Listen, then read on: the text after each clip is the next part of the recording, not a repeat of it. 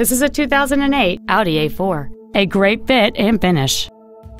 It features a 2.0-liter four-cylinder engine and an automatic transmission.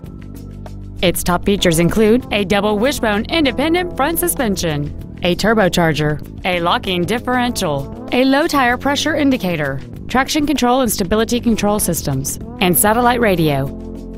The following features are also included dual power seats, cruise control, heated side view mirrors, a premium audio system, a leather wrapped steering wheel, an engine immobilizer theft deterrent system, a passenger side vanity mirror, an anti lock braking system, a rear window defroster.